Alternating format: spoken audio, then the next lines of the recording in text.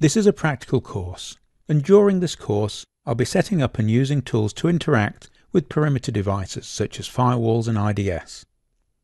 I'll be using the VirtualBox environment, and you should be familiar with using Kali Linux and its terminal shell, and the Windows command shell.